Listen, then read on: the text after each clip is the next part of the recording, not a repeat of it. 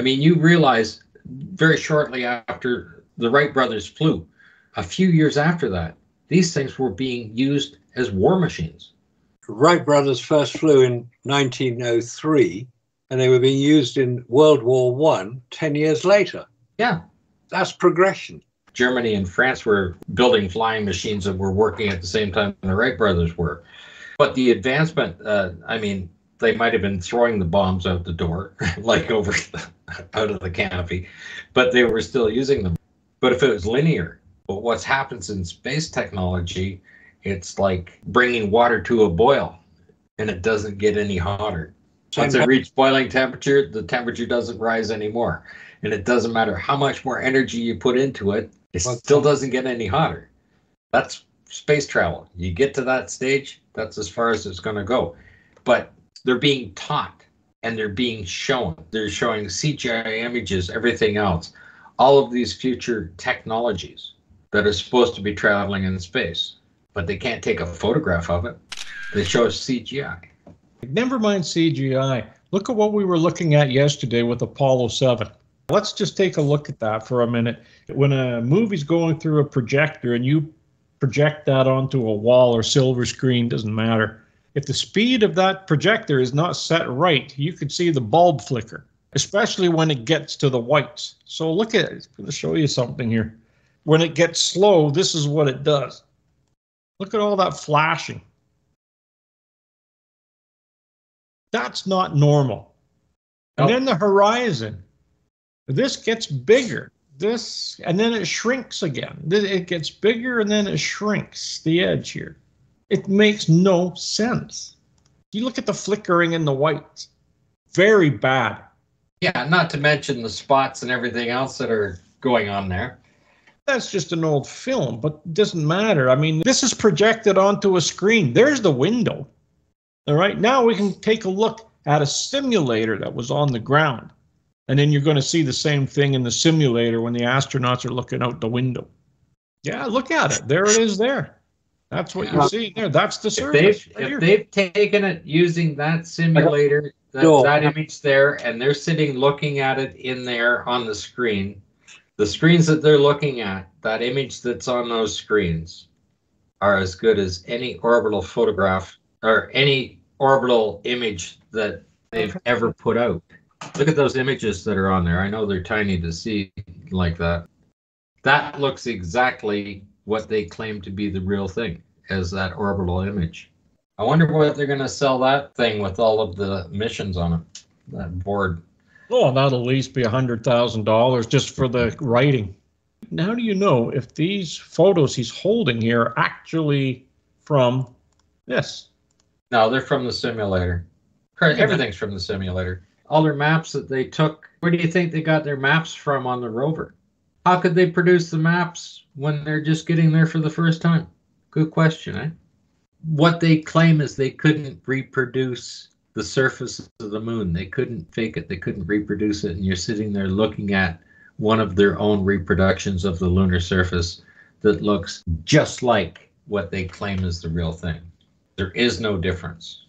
Now, don't forget, these are coming through on CRTs, cathode ray tubes. There's other simulators that just have projection screens out the windows. Right. Those are the ones that, when they flicker, are the same thing you're seeing in the Apollo 7. That's when they cannot claim that it's camera flicker or sync rates out. But I mean, the other one with the Earth and the clouds and everything else, they could do that off of a balloon. They could record that image the joystick that's sitting in the simulator, that's what those guys, when they're going like this and turning the joystick, this camera, whole mount, this is what it's moving this way and this way. The only thing that's tilting is the camera. There, everything's on that mount. Yeah, and they said that they didn't have the technology to fake it. Eh? And yeah. there it is right there.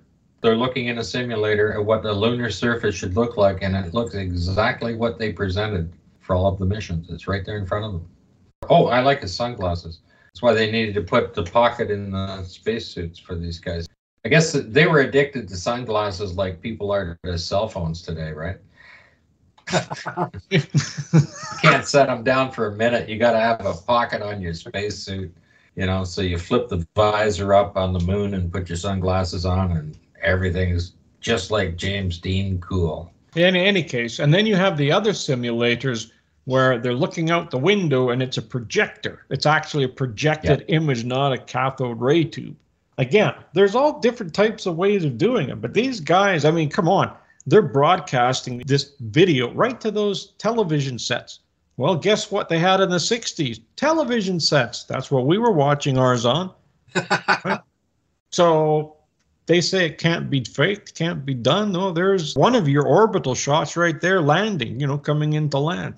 You put that up against one of those shots where they're inside of Yeah. the LEM going down. That's what you're going to see. If they wouldn't have gone to all the trouble to build that 20 foot ball that rotates, they wouldn't build the track around it. They wouldn't build all the half sections of it that they were working with on there. What were they doing with that? That has nothing to do with getting a rocket off the ground. Nothing. Absolutely nothing. You think about that. Why did they have to do all of that? Doesn't make sense. Uh, I mean, you, like if you build vacuum chambers, you put the equipment in, you put the people in, you put everything in, you test everything. That's one thing. And at, at least 10% of their budget was on that. The rest of it, you're building rockets and a launch pad and everything else and trying to make fuel tanks and, you know, oxygen tanks, figure out how much power you need. Where did all of these plaster molding and stuff like that? Why did they need to do that? They didn't have to reproduce the surface of the moon to practice landing. They didn't need to have orbital photographs to practice flying it.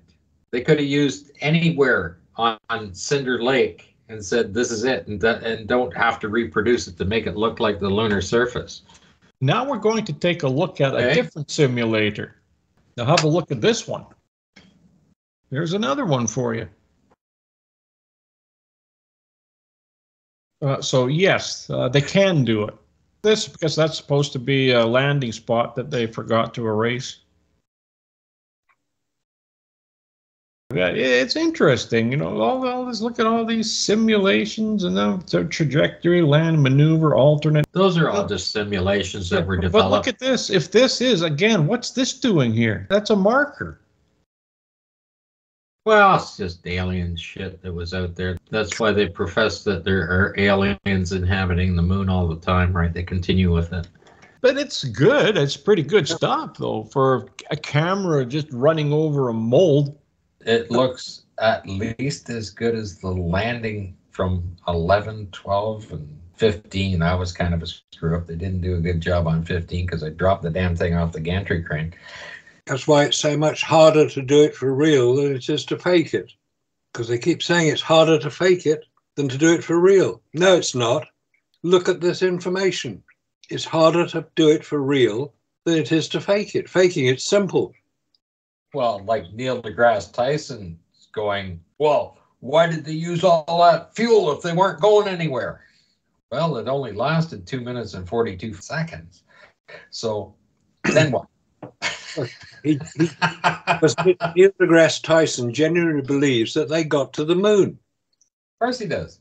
So everything that anybody says that contradicts that, he's going to find an answer to it. And he's an important person. He never actually answers a question. No, he doesn't answer the question. That's, He that's asked you another question. Like, as you ask him if they went to the moon, and he says, You know how much fuel's in that rocket? Are you kidding me? Would you put that much fuel in there if you weren't going anywhere? And that's exactly how he says it. And it's, Well, Neil, it's two minutes and 42 seconds. You're nowhere near the airspace, and you are done. This is the one that I wanted to show. This is the LEM. Now look at that. This is a projection on the outside from this camera here. Yeah, they're looking at it on the screen out through the window of a simulator. Look at that. And here's the camera right there. And there's the LEM. Oh, look. How do you get out that door with that console there? no, Scott. Don't ask embarrassing questions. How does Buzz stand up in there? How does Buzz stand up in there? Yeah, there you go. There's the door. There's the console right there. How are you going to be standing up all exactly? I know, and they expect us to believe it. A lot of people do, unfortunately, but uh, we don't. Well, you see, if you say one's a simulation and the other one's the real thing, but both of them are simulations, you can either claim we really did a great simulation or they claim that they couldn't do a simulation. Both of them now have to be real because they both look the same because both of them are actually simulations. So what they need to go back is they need to re-record some really lousy simulations and put those up and say this is the best we could do in the simulator. But they didn't. They got them up there. Periscope Films got their simulator, claiming their simulator, that are equally as good as what they claim is the real thing. And it could actually be the same footage. Yeah. Interesting, they call themselves Periscope Films when a periscope camera is specifically designed for doing miniature sets. yes. Very, very strange. It's almost like they are so arrogant they can't understand why people can be not fooled by what they're doing. All the little bits of all the details, and we can put them all together. We can ask a question. Oh, that's the oh, I recognize that. There's the globe. It's supposed to be in San Francisco now. And how big is that piece that's sitting there? Like six feet across? That first set? Oh, that, yep. I guess this is um, a model of it. That's just a model of it. And then they built the 10 foot high panels like that they're working off of there. Then they used a camera on the tracks approaching it. There we go. That's the original. 291 square feet. Oh, it's live from the surface of the moon, guys. They must be real. Or not. You've seen pictures of them working against that 10 foot model, but you never see them with the miniature model of what they're going to produce. And No. uh, they obviously planned that well in advance, presented it to a board and say, okay, we're going to do this to fake it. But yeah, your comment about Periscope films, the fact that that technology was used to do models for all of the aerial photographs, for all the orbital photographs that they were doing from Earth and Moon would have been shot like that. The sequence you've used before, Robert, where you're showing a miniature set with the camera, and it, it's a big thing. It comes down onto the set. Then you see the result projected from that camera. Well, filmed from the. Oh, John Dykstra. That's the one. Yep. And it was probably also a technique that was used by Douglas Trumbull. They have so many simulators. There's another, like, I mean, it's crazy. What the heck you need all this stuff for? You don't. That's the whole point. I mean, I could see them building two, but five, six, seven, it doesn't stop. Why, if you're building a simulator, why do you have to have the uh, image of anything of the lunar surface to practice? What you should be practicing is a target, like measured speed, descent speed, ground speed, and your descent speed to control those engines coming down if you're going to be landing that LEM. You should be practicing that. The surface below is irrelevant to you at that point. You only need to control the craft, right? You would put a target up. Well, they wanted to be as accurate as possible. that's- Oh yeah, but they knew that they were going to have to go around this little crater and over to that one. Bullshit. they do a good job promoting what they do, but the price they charge to do it is unbelievable. That's the part that pisses me off. I mean, you can go out and shoot your mouth off day all day long, but people don't have to pay you to do it. Uh, sad, really. But what's he at? One hundred and fifty thousand dollars an hour for a Skype chat? Yeah, it's it's ridiculous. Not from us, he's not getting it. No, not in this lifetime. No, considering the fact that he doesn't have anything to say, that's an awful lot of money to pay for entertainment. but he says it very well, don't forget. We have something to say. People should listen. They should understand it because it's important. I think a lot of people are listening now because the Artemis program is such a farce right now. And Elon Musk is really not succeeding in getting his rocket off the ground. People are saying, well, if it really was so easy back in the 60s, what's the problem today? And we see the problem today. It's not easy. And I think a lot of people are beginning to realize that what we have to say and the archive that we have assembled, or Robert has assembled so successfully, will become a go to place for people who are beginning to find out that Apollo was faked.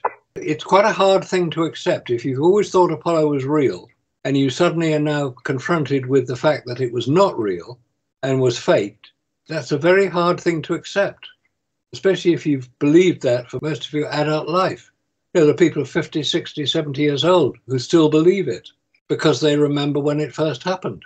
And to turn that around, turn that attitude around, takes a while. People do get there, but it takes a while to do it. And I think we're helping that process. I think what people need to get to the point is is that we should take our energy and technology into something more practical. On a world-wide basis, I think our healthcare industry needs a, an entire overhaul and pay attention to it. Why not advance it? Why not make our lives more comfortable? Because anything that's happening in space is for an individual, not the general population. For the rich Right. and the greedy. Anyway, we had robots on the moon with the first man on the moon. Yep. Isn't that incredible? And the media was focused on the people, not that. I had no idea that there was media on the moon. They certainly were not controlling the cameras, were they? Like, did the BBC, were they there? Well, the media always gets there first. You should know that. But here we have a man who has some notoriety in a subject that is totally unrelated to anything to do with scientific knowledge whatsoever or physics. He's a theoretical physicist. He doesn't know anything about physics. He doesn't know anything about the Hadron Collider. And yet, because of his notoriety, they think that because he can say the God particle out loud, that he has some involvement with it. The electrical engineers that designed that, the amount of power that that thing needs, those are the guys that should be on stage, not him. And when it comes to the moon landing, he can talk about his imagination all he wants about space. Yep. Nobody can disagree with it because it's his imagination on how he views the galaxies, outer space. Nobody can disagree with that. Yeah. But when it comes down to real physics, he doesn't have any qualifications to discuss it. But because of his notoriety, they think he does. Well, at least he's getting a good workout because his arms are going this way and he's jumping out of his seat and has to be pulled back again. But these robots Yeah. that were on the lunar surface with Neil Armstrong, if there were robots running around there, if there was rovers running around there, wouldn't we see the evidence of that on the ground? Wouldn't we be able to see their tracks running around? Oh, we should be able to. Yeah. right? He's talking about the moon landing. He doesn't have any more knowledge of that than he does the Hadron Collider. It's not his field of expertise. He hasn't looked at the photographs. He hasn't read the documents. He hasn't read all those PDF files on the design of the stuff. He's never put his hand on a wrench and turned anything his entire life. He's a documentary host, and he's very good at that. He's a performer as well. Well, he's entertaining. He has an appearance, his face, everything else. Like he's right up there. Like as far as I see him, you know, he could be on the Muppet Show with them because he has that animated face to go with it. Right? That's the attraction. The guy said, "These are absolute facts. You can't argue with the facts." And he goes, "Watch me," right? And he goes off on a different tangent. They never discussed the topic that they were on any further. He just went off on a budget or something else and then he's claiming that NASA gets a whole lot more money than it took to put the Hadron Collider together. Well, does that mean that those guys were underpaid that put it together? All those real guys that designed it and built it Yeah. and can control it? I mean, that's an amazing feat. Those guys did uh some amazing work to control that much energy. I mean, I was reading an article on the Hadron Collider, and I said, just to stop the flow, it can melt six tons of copper. That's how much it takes. That's how much energy has to be absorbed just to stop the flow. That's some pretty dangerous stuff you're working with. This particular gentleman knows nothing about that. He doesn't even know how big the thing is. You see him get credited. You see Brian Cox also get credited because he showed up and did an interview on site when it happens, right? That's the same thing when Brian Cox shows up at the Sandusky vacuum chamber. Well, he doesn't know anything about the design of that thing. Nothing. He's another theoretical physicist. He just shows up, he gets credited. People automatically assume that he has knowledge of this piece of equipment or that he's part of the design, that these are the guys that dreamt it up and engineered it and designed it. They're not. And it's only because of the notoriety that they automatically attach that. So anything he says, he is now the authority in it. And when it comes to the moon landing, you, sir, are the authority in the moon landings. Thank you. There's no one short of that. Because anything I know, you know. anything David Percy knows, you know. Because you are the collective source for all of the information. It doesn't matter what I decide or Jarrah White decides or anybody else decide. You have compiled all of that because you've been here longer than everybody else, and we combine our knowledge together. But you're the main source of all of that. Purely you know? because I've taken the time to study it, same as you have, same as Robert has. We've studied it. We've asked the questions of it. We've said, how does this work? If that happened, how does that happen? And we come up with some very strange answers. Well, if that happens, that shouldn't happen. And then we get into the detail of it, you know, the standard stuff, the radiation, the vacuum, and the heat, the three things which are not addressed by NASA. And I think at the moment, with the Artemis program, the, the four astronauts, only four have been named as Artemis astronauts, are probably going to start asking questions how are we going to be protected from these dangers in space? And I very much doubt that they're going to get decent answers. I say, well, the same as, same as we did with Apollo. Well, show us how you did it. And that's when it starts to break open. Because if they are not going to be protected as they would expect, they're probably going to find reasons not to go because it's a dangerous mission going beyond low Earth orbit. They still have a problem because they haven't completed a vehicle from start to finish to even yeah. launch this thing. They've got to finish all the stages off and they have to do all that testing and everything else to just to get the thing off the ground. And right? also, they're faced with a problem that has never ever been achieved yet in space refueling. They don't know how many rockets they're going to need to refuel Musk's lander, which is a huge, great piece of kit. So they're going to need a lot of fuel. So they're going to have to do in space refueling. That's never ever been done. So they've got to do that, practice that, ensure it works. And how are they going to do that? They're going to have to launch some rockets with the fuel on board and then transfer it to another craft. That's never been done before. With those one time seals, that's going to be interesting, isn't it? Isn't it just? Yeah, and they start transferring fuel between rockets. What sort of safety is going to be used to ensure that the rockets don't explode? Because refueling in space is very different from refueling on the ground, which can be controlled rather more than in space. Aircraft have managed to refuel successfully.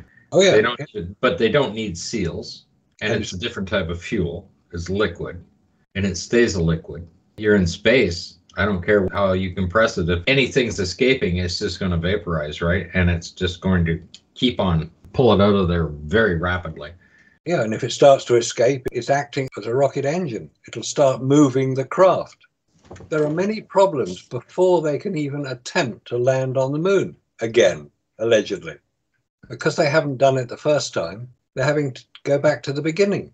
Well, Robert and I were talking a little bit earlier, and I had suggested that for the next or the first landing of anything, that because we have all of this fine technology, and that we have all of these robots that have been around, like Neil says, that are always with us.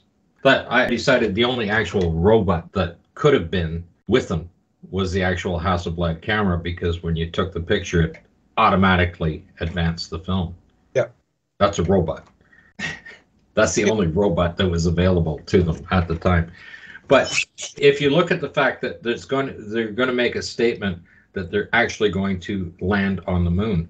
Why not send out these nice robots and set cameras up that they can be sitting on the lunar surface and we can watch the descent and landing? Because these guys already knew how to do it 50 yeah. years ago. Like, look at Apollo 12. They managed to get down beside the surveyor. Well, you could put a camera down there and have it being shot from the lunar surface. And not one or two, every country can drop one down have representation from every country. Have a camera down there, their own independent cameras. You can watch them orbit, deorbit. Look at the camera technology we have today. They'd be perfect 4K images coming back from there. And we could watch it happen live on independent channels. Well, you see, the first thing being a human, you'd want to see your home. So you think that they would have set up a camera at least before they left, just focused on the Earth so that when the moon is in the proper orbit, they can control the camera because obviously they controlled the camera on the rover from Earth. They had pan, they had tilt, and they had zoom. So why can't they do the same thing back in those days? Just leave a camera there, hook it up to that nuclear power pack, and you have at least 100 years worth of power, worth of voltage there. You don't see that, do you? No, you don't. It seems to be missing from their program. A lot of stuff is missing from their program. It's this technology, even what Neil deGrasse Tyson's talking about. If they had that technology in 1969, we would have commercial flights into space in low Earth orbit. Yeah, of course we would. They would be as active as any commercial airplane is running today, going from country to country. It would Yep. be that simple to do by now. It would be a tourist location. And like I said to Robert, I said I'd even go up and uh, cook in one of the restaurants in Earth orbit. Go to an all-you-could-eat buffet. I mean, you'll never gain any weight.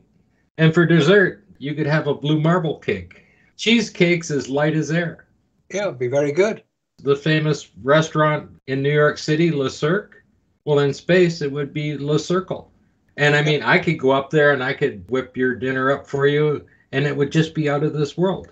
And talk about living high on the hog. I mean, we should be there. There would be uh, restaurants, hotels, everything else. Yeah, well, there's still one problem that's going to put a stop to all of that because on Monday, December the 18th of this year, an article went out from the National Aeronautics and Space Administration. This is what they had to say regarding this linear energy transfer spectrometer, which is an acronym LETS. Now, the linear energy transfer spectrometer, LETS, is a radiation sensor designed to study the lunar radiation environment. In particular, its objective is to measure the rate of incident radiation, both from galactic cosmic rays and solar events, to provide information on the hazards posed to astronauts. Now, this is a little probe that's going to sit on the lunar surface to be launched, according to these guys, on the 24th of this month. Now, wait a minute. Didn't they do this when they supposedly landed on the moon? At least once? They set up all the equipment. And of course, they claim it's still working. Now, this little probe called the Peregrine is going to do the same thing that sensors that were placed there 50 some odd years ago are going to do. I thought we were done and dusted with this, weren't we? Why would they need to do this again when they already did it six times, Yeah. supposedly? If you have 50 years of recording of radiation on the lunar surface from experimental equipment that was set up there during the Apollo program, why would you need to put a new probe on the surface to record it now? So you're going to have a new cake to make, Scott. It's called the radiation upside down cake. But which way is upside down when you're in zero gravity? I'm going to have to design a recipe for an upside down cake in zero gravity. Go for it, Scott. I think you should do that right now.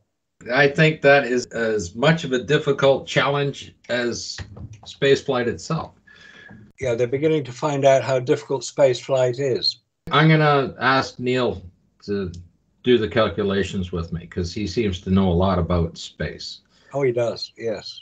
One interesting comment he made during that uh, difficult interview uh, I don't know if it was an interview, but his speech he said, if peace hadn't broken out in Europe in the 1990s, they would continue spending. So it's all to do with armaments, all to do with ensuring that America was fully armed and not going to be affected by anybody else, which is a standard criticism directed towards America that they have a defense budget higher than the next eight countries combined.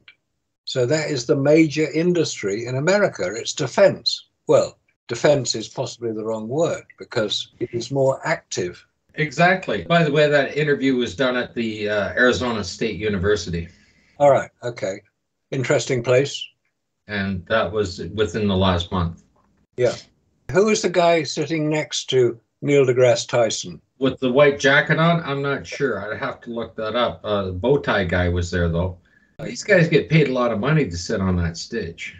Well, Arizona State University obviously can afford it. If Neil wants to talk to us, you know, instead of throwing shit at the wall and hoping something sticks, if he wants to sit down and actually learn something because he doesn't know anything about the Apollo program. If he sat down and talked to us, I could guarantee you that that audience would not be laughing at every single foolish little adolescent antic that they were pulling off there. That's just wouldn't happen because that audience would be sitting there with crestfallen faces if they did it with us. Yeah, they would, Yeah. because we would have the questions and we would demand answers. Música